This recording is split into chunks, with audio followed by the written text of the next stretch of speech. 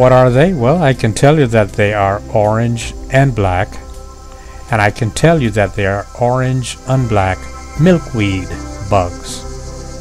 They have a very special symbiotic relationship with monarch butterflies. Other than that, I don't know much about them. I know that they live on the milkweed plant, which is one of the favorites of the monarch butterfly. Perhaps you can enlighten us. Please share your knowledge of the orange and black milkweed bugs. That way, together we learn.